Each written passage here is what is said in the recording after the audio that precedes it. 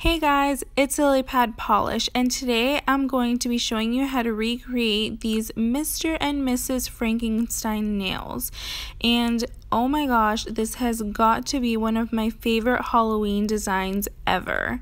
I actually already have three other Halloween designs already up on my channel and the first ones I did was a Victorian style haunted house. The second are these semi-cute spider web nails and then the most recent are my creepy bloody Hello Kitty nails. So if you want to know how to recreate this design then just keep on watching. Starting off, as always, I'm going to apply my yellow stopper as my base coat, and I actually like to use this as my peel off base coat. For the base polish, it of course has to be green, so I'm using China Glaze's Lime After Lime from their Light Brights collection. And I don't really know what was wrong with me today, but this polish application is horrendous.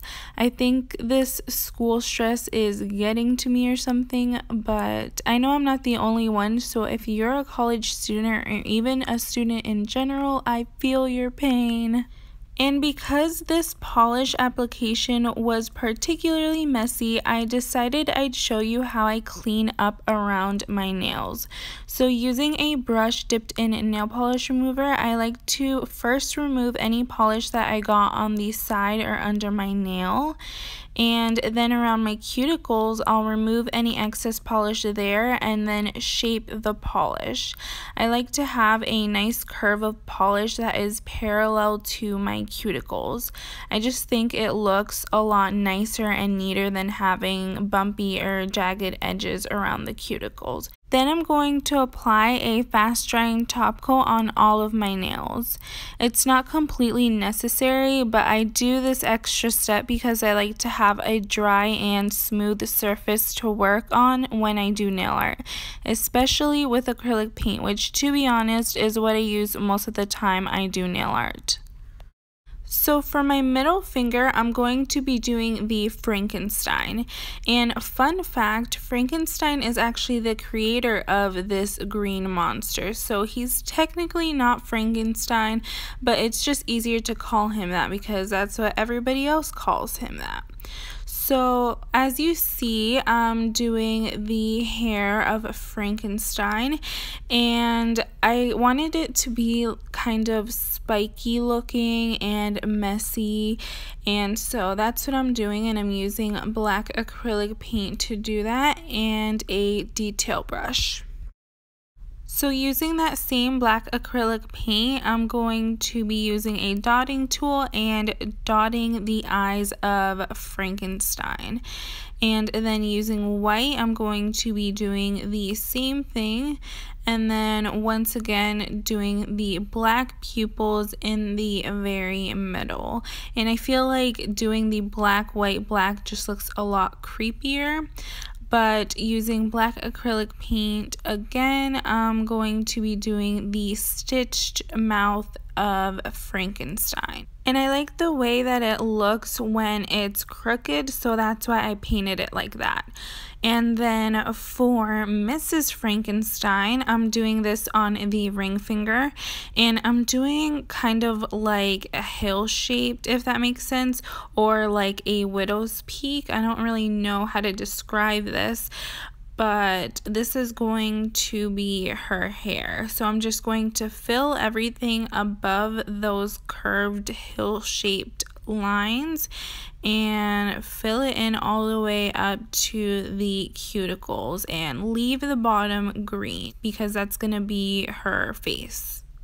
And just like the Frankenstein, we're going to use black and white acrylic paint starting with black for the eyes and because she is a she, I decided to add eyelashes before I go on with the eyes just to make her look a little bit more pretty. And then of course the white in the middle and then the black pupils, obviously when it's all dry. And then using white, we're going to be doing the squiggly white lines in her hair. And so this part was a little bit difficult, it was a little messy, um, but it's okay. We can always go back in and fix it.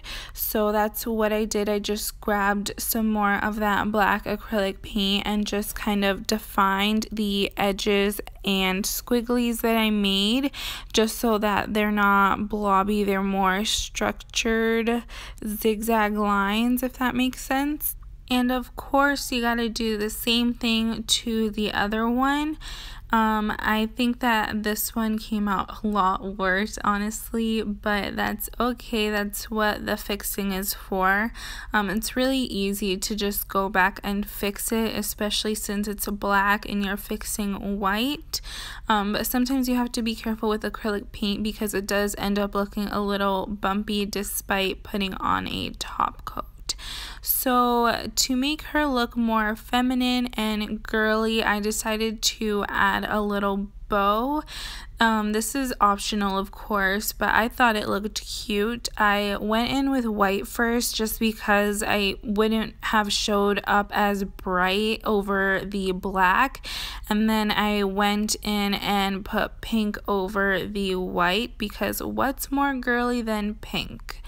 And then for the rest of my nails, which is the pointer thumb and my pinky finger, I'm just doing those same stitches that we did for the mouth of Frankenstein.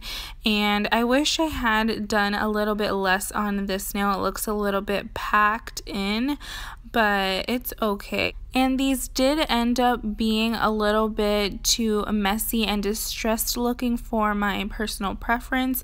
But because they're Halloween nails, I'm able to say that I totally meant for them to turn out that way and I'm just continuing adding on those tiny lines onto the long lines. And finally, I'm going to apply my favorite glossy top coat, and this is INM Out the Door. And I'm making sure to cap the edges for a longer lasting manicure and this is the finished manicure. I know that this was a little bit of a long tutorial. Usually my voiceovers aren't this long, but I'm totally in love with this mani and I really liked the way that this tutorial turned out and if you did too, I would love it if you gave it a thumbs up and subscribed. And comment down below letting me know what Halloween design you would like to see from me next. And that's all for this video. Thank you so much for watching. Bye!